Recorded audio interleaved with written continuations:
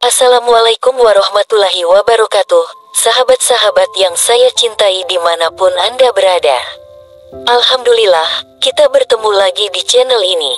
Kali ini kita akan membahas sebuah kisah inspiratif tentang seorang prajurit yang menemukan hidayah Islam saat numpang kapal laut.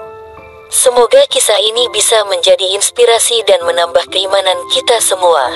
Bismillahirrohmanirrohim, mari kita mulai. Numpang kapal laut, prajurit ini dapat hidayah Islam dan mantap ucap syahadat.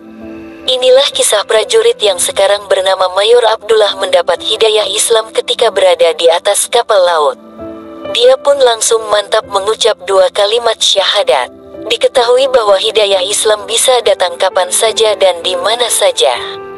Seperti dialami Mayor Abdullah hingga memutuskan menjadi mualaf saat dalam perjalanan menumpang sebuah kapal laut.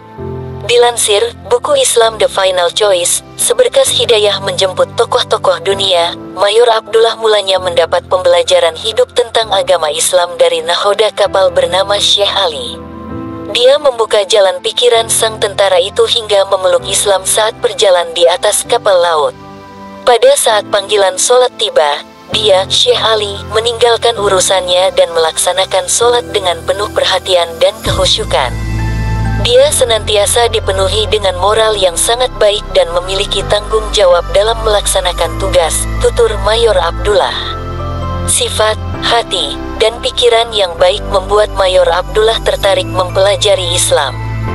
Bersamaan dengan perasaan yang mendalam, ia mendapati diri sendiri untuk mengetahui mengenai agama yang luar biasa ini yang telah membentuk orang-orang baik, menjaga sifat, serta penuh dengan nilai-nilai moral.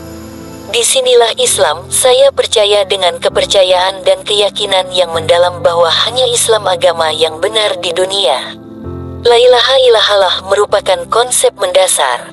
Hasilnya adalah saya memutuskan memeluk Islam, ucapnya lagi. Hal ini sangat sesuai dengan firman Allah subhanahu wa ta'ala di surat Ali Imran ayat 103 yang artinya, Dan berpegang teguhlah kamu semuanya pada tali agama Allah, dan janganlah kamu bercerai-berai, dan ingatlah nikmat Allah kepadamu ketika kamu dahulu, masa jahiliyah bermusuhan, Lalu Allah mempersatukan hatimu, sehingga dengan karunia-Nya kamu menjadi bersaudara, sedangkan ketika itu kamu berada di tepi jurang neraka, lalu Allah menyelamatkan kamu dari sana. Demikianlah, Allah menerangkan ayat-ayatnya kepadamu agar kamu mendapat petunjuk. Berikut adalah hikmah yang bisa kita ambil dari kisah tersebut. 1. Hidayah datang dari mana saja, kisah ini mengajarkan kita bahwa hidayah bisa datang dari mana saja dan kapan saja. Dalam hal ini, seorang prajurit mendapatkan hidayah saat numpang kapal laut. Ini menunjukkan bahwa Allah Subhanahu wa Ta'ala bisa memberikan petunjuk kepada siapa saja, di mana saja, dan kapan saja.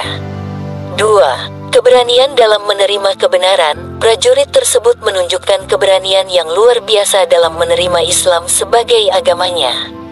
Ini adalah contoh bagus tentang bagaimana kita harus berani menerima kebenaran, meskipun itu mungkin berarti mengubah cara hidup kita.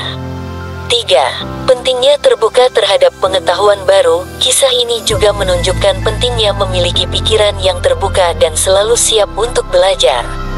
Prajurit tersebut mungkin tidak pernah berpikir bahwa dia akan menemukan Islam di kapal laut, tetapi dengan pikiran yang terbuka, dia mampu menerima hidayah tersebut.